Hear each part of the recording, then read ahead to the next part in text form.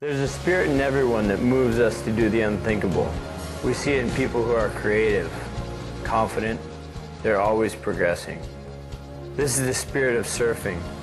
It's inside every one of us.